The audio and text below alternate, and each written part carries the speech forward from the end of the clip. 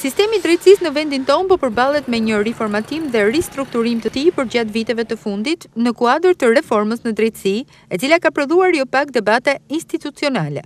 Ndërsa drejtësia çdo ditë prodhon lajme, qytetarët durrsakë i shohin me skepticizëm rezultatet e kësaj reforme.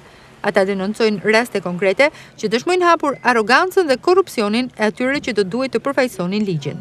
Me këtë zvarritje si po shkon as nuk do të bëhet, për mendimin tim.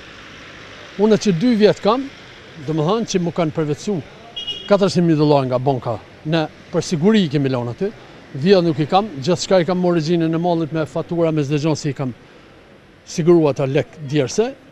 Ata m'i kanë përvetësu dhe Janë prokurori, gjyqtari, njoni thotë jo s'â hetu sot, njoni s'asht bo nga policia shkencore nuk është deklaru se kush e ka firmën jo ti ai.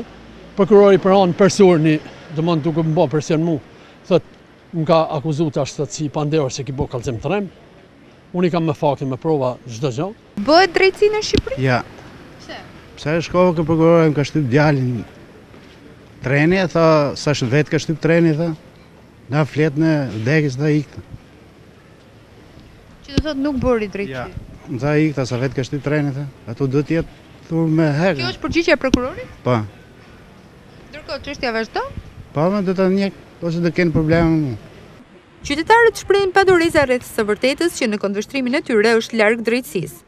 Vjedhin, drejtësi jo, asnjëherë në botë.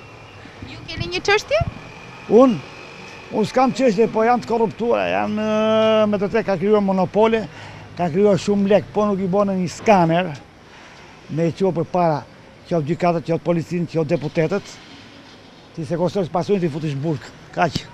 Ndërkohë që përplasjet institucionale rreth kësaj çështje të nxehtë vazhdojnë, stoku i dosjeve në Gjykatën e Lartë ka shkuar në mbi tridhjetë e dy mijë çështje, duke lënë peng qytetarët që kërkojnë të drejtën e tyre.